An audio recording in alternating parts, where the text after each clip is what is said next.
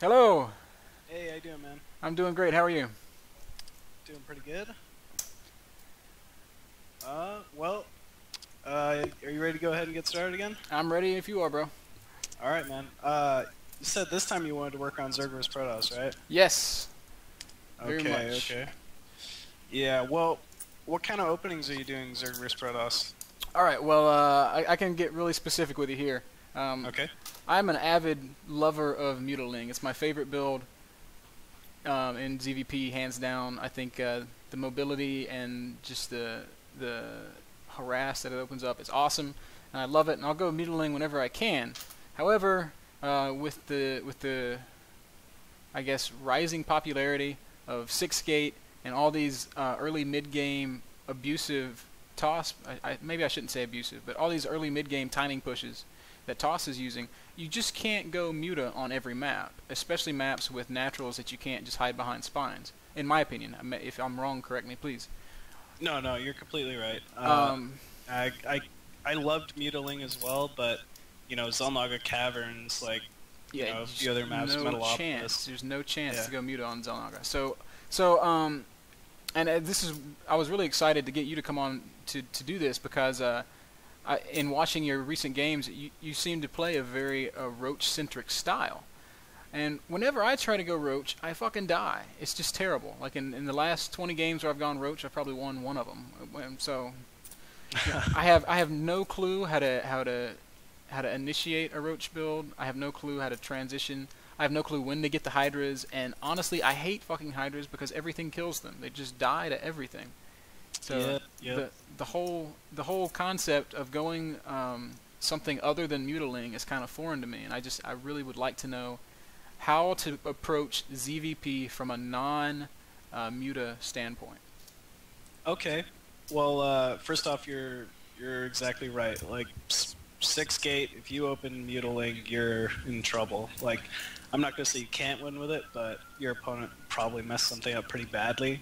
And so I found kind of the, and most other Zergs have found the best kind of way to open up against that very aggressive mid-range Protoss build order uh, attack is roaches. You know, six gate by itself uh, is extremely adjustable and extremely strong. Like there's no flat like counter to it, um, Okay. other than like Roach with Burrow because they're going straight six gate. They're not going to have obs. Right. So, um, and even then, it's like it's like defensive uh, for Zerg as well because you have to use Burrow in order to defend the attack, like the six gate Right. but you know it kind of gains you some sort of map control until they get their robo out. Um, so yeah, I've typically I've been opening Roach, and then uh, what's actually kind of funny is compared to before, if you open Roach and you scouted and saw them going Immortal, I'm sure the la- the first thing you'd throw down was a Spire, but Right. in this case, uh, the typical transition for Protoss to go uh, deal with the, the sort of like two base uh, roach pressure with uh, Burrow is to throw down a robo and crank out Immortals hmm and get an Observer. And so, kind of the counter to that is you're going to back up those roaches with Hydralisks. Right. Um, and so it's kind of like a, a transition from Roach Burrow into Hydra, and then kind of a delayed Spire to deal with uh, any sort of Colossus that could be made after you know the first few Immortals. So Okay. it's kind of just how to, how it's played. It sounds like a Uh, very dangerous timing window, like, or timing something that it's like a it's a you know dangerous game you're playing where it's like if I- if I wait too long for the spire, I'm dead. If I wait too long for the hydras, I'm dead. If I wait too long for whatever, I'm dead. Yeah, it, it's it's pretty difficult. Um, what kind of makes it easier for me is whenever I run up against six gate builds like this, I kind of just set a standard, and I'll, and I'll say something like, even if I know it, it's not going to be true, I'll say, all right, this game, as I'm making Hydra's range upgrade, I'm going to throw down my Spire, and I just kind of see how that works, and then it gives me something to adjust upon. Like if you know I do that that that game, I start my Spire as I start Hydra's range upgrade, and it's still not up in time, then I have something to adjust from. So, uh, you know, the as the timings work out, uh, you can kind of get it down to kind of a, a safe point. um, as long as you know your opponent is executing the build correctly as well. Okay. so, all right, uh, let's go ahead and I'm just gonna walk you through it the first game. Uh, just my my standard roach opening. What I do is the beginning's all the same, speed before lair. Um, as your lair is at around 20% completed, you're going to start making your roach warren. That way the, the roach warren and the lair finish at around the same time.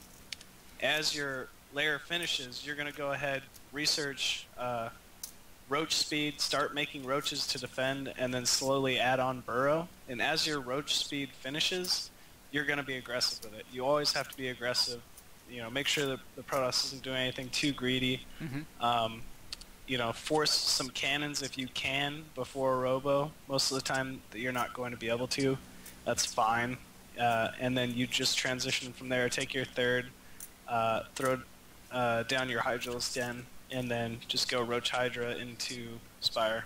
Let's So- back up a little bit just to our very um, our very early early game opening. I, I would I would prefer to 14 hatch. Is that something that you um, advocate?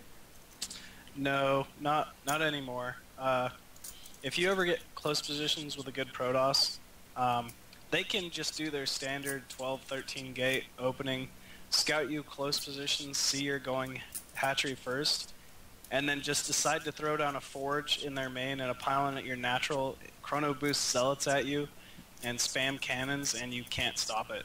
There's literally no way to deal. Yep, there's no way you can stop it. So you have to open pool first against Protoss now, every single time, unless you know they're not close positions. So we're gonna go uh, 14 pool, 16, 17 hatch. Uh, 14 pool, 16 hatchery is what I generally do. Uh, on Steps of War, I'll go 14 pool, 15 hatchery, just because that just helps. It, it helps hold off uh, some of the early You need, gateway you need to creep right. Uh, yeah, to get down the spine crawlers as well. It's just there's a few all-ins there that Protoss can do that you can't hold it with the 16 hatch, but you can hold it with the 15 hatch. So that's the only subtle little adjustment I'll make. All right. Well, let's uh, let's jump into it and see how it goes and uh, and uh, right. and stuff.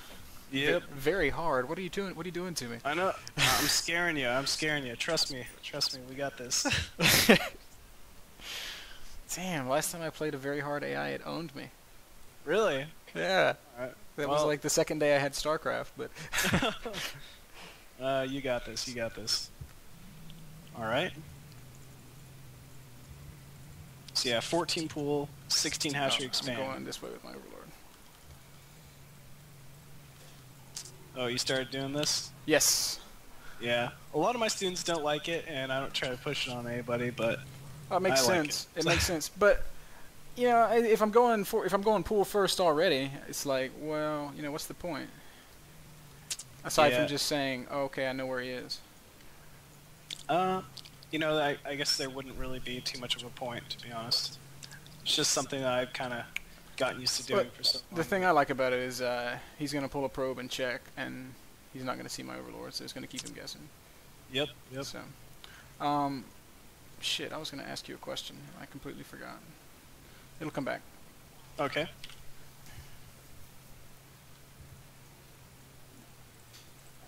Oh yeah, am I going to drone scout with this build? Yes, you drone scout on 14 as you uh, make your pool. Okay. Send your second overlord to the 12 o'clock. That's a habit of going hatch first. So would you uh, would you scout cross position with the drone? Yep. Yeah, scout cross position with the drone. And my overlord's kind of on a bad path, isn't he? Am I the one going to six? Uh, I usually aim right for the ramp.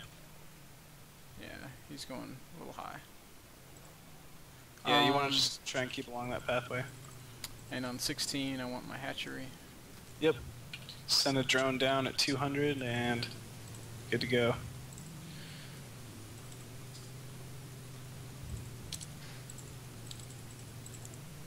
And then it's 15 Overlord after the hatchery's down. Alright, so now he's cross map. Go ahead and reposition those two Overlords. So where am I gonna send this top overlord? Like, there's really. Uh, yeah, there's no cliff or anything on this map, so I just sent it right to where the Protoss's third would be, so I Okay. can use it to delay the third with creep later. Got you. It's the best thing I've come up with. Uh, What about my gas timing? uh, Overlord and then Queen, and then Gas at 21. Okay. Usually want your Overlord a bit sooner. I, I was stalling because I didn't know what I was supposed to do. Uh, My bad. it's alright. Yeah, Overlord at 15, so right after the hatchery goes down, you make your Overlord immediately. Yeah, you said that, didn't you? And I wasn't listening. It's alright.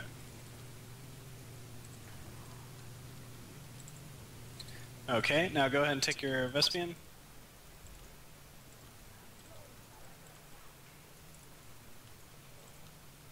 Then usually you want to start your second queen in your main uh, as the first one finishes, But but, this game it's delayed. fine. Just yeah, it's alright. Because I'm a noob. Make two Zerglings just to scout with and start a Spine Crawler at your natural to defend against Stalker Harass. You gotta get it down as soon as the expansion comes up, because usually the Stalker is gonna be hitting like any second, right. so it's really important to get that down there. Is this a tumor or an injection? Uh, inject. Always, the first one's always an inject. Alright, then send the two Zerglings out scout, drone up to 30, and then make an Overlord. I have nobody in gas. I'm so bad. It's alright. What about now? Make- is, is this a tumor now? At the, at Yeah, the you can make that a tumor.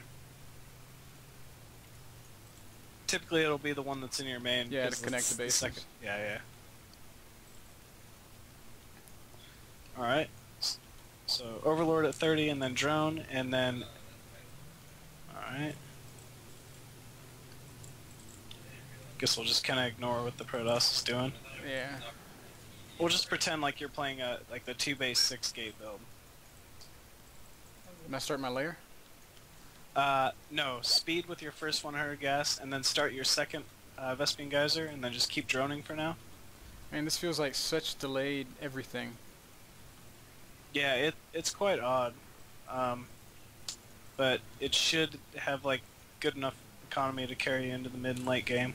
Like that that's all this build is based around getting as many drones early on. as- How do you deal with As safe s- as possible. standard four gate? Uh, well, you would scout it by now, and you would have not been making any more drones. You would have probably just been spamming down spine crawlers and uh, speedlings. Okay. Start your lair, and then throw three more drones on gas. Yeah, typically against four gate, I can see it coming far enough. I'll, I'll throw down five spine crawlers total, and you'd be spending all of your larvae right now on zerglings. Oh, shit, look at this. Which, yeah, you should be doing right now. So start making zerglings. I think I'm about to get owned. Uh, I think you, with the speedlings you'll be fine. Pretty sure. They'll at least buy your spine crawlers time. Just keep making them as soon as they come out.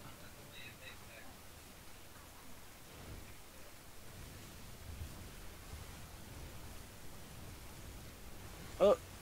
Yeah. Pull drones as well. Like against something like this, you want to just survive at all costs.